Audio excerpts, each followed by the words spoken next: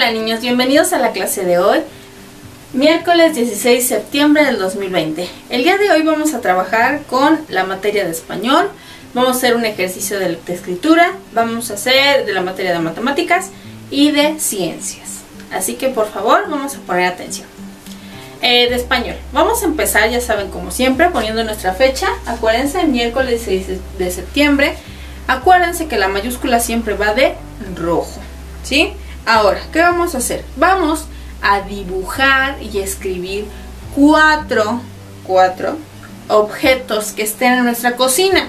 ¿Qué está en nuestra cocina? Pues puedo dibujar un sartén, puedo dibujar una estufa, puedo dibujar una licuadora. Cuatro objetos los dibujan y cuatro objetos con nombre. Acuérdense que si no saben poner el nombre, pongan ustedes como creen que se escribe la palabra y que sus mamás les auxilien por si les falta alguna letra. ¿Sí? Ahora, el ejercicio de lectoescritura del día de hoy vamos a trabajar con nuestra hoja de trabajo que es la siguiente.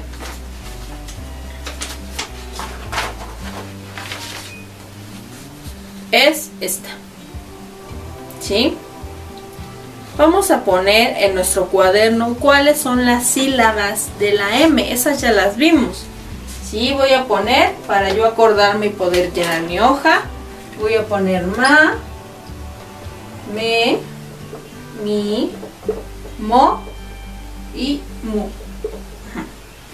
Ahora, ¿esta qué es? Una mesa. Entonces, ¿qué sílaba le falta de la M? La ma, la me, la mi, la mo, la mu.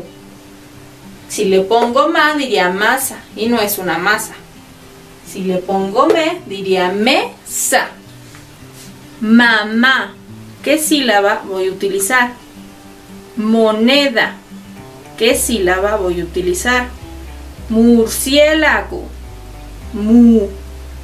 ¿Qué sílaba voy a utilizar? Mono. Miel mago, mimo, momia, mochila, mermelada y mapa. ¿Sí?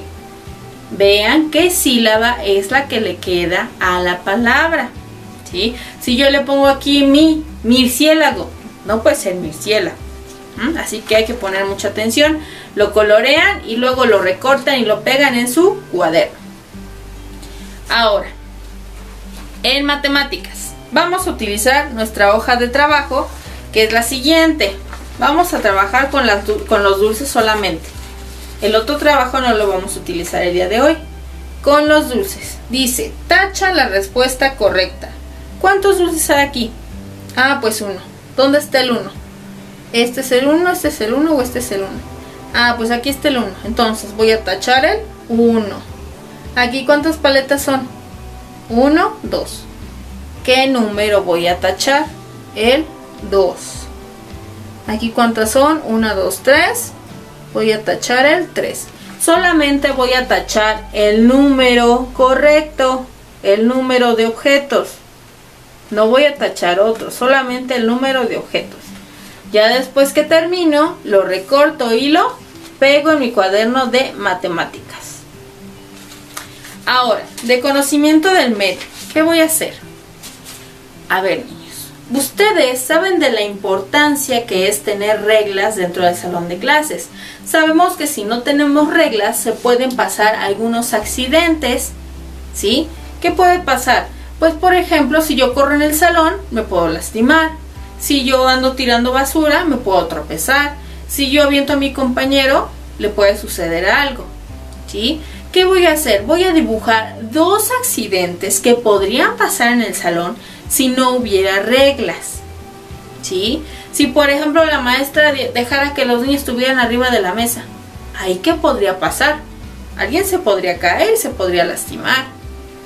¿Qué pasaría si la maestra este, no nos dice nada y andamos ahí corriendo y aventándonos las sillas? Puede pasar un accidente.